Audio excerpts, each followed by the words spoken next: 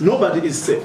We need to come together as citizens and protect ourselves from a, an inhumane culture that is developing in our country of the use of live ammunition against unarmed and defenseless citizens. And the people that have used these live ammunitions against the people have been protected by the government. The, the, that soldier who shot people in the streets, to date, people, we went there, we found out his name, we gave to the authorities. Nothing has happened to him. And we demand that he must be apprehended as soon as possible. He must appear before the commission and he must be brought to justice.